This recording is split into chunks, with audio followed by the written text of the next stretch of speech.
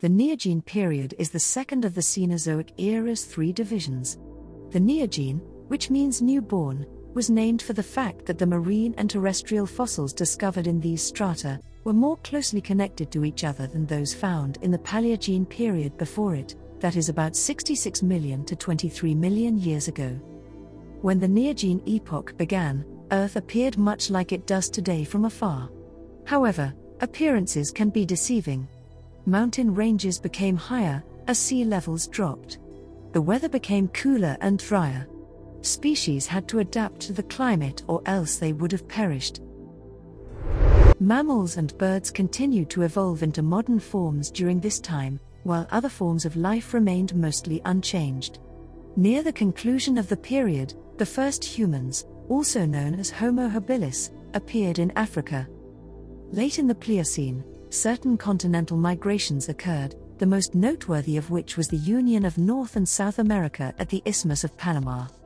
During the Neogene, the global temperature cooled significantly, culminating in a succession of continental glaciations in the Quaternary period that followed.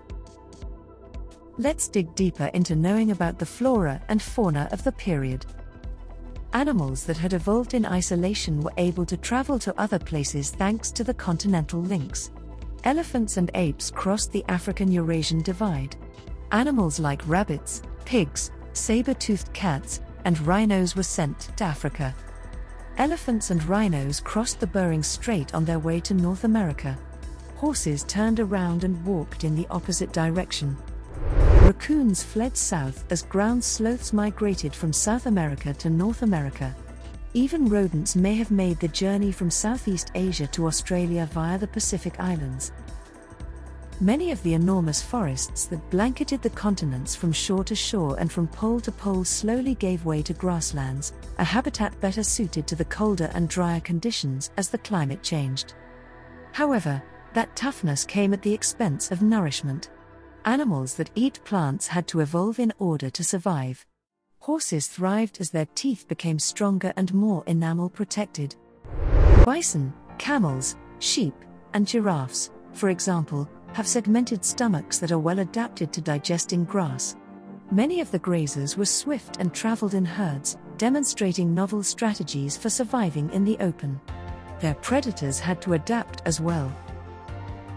Asian and African apes parted, and hominins split from their nearest African ape predecessors, the chimps, several million years later. Early hominins emerged from the trees, adapted to two footed walking, and began to carry food and tools in their hands. In the centuries ahead, these new species were poised to have a profound impact on the globe.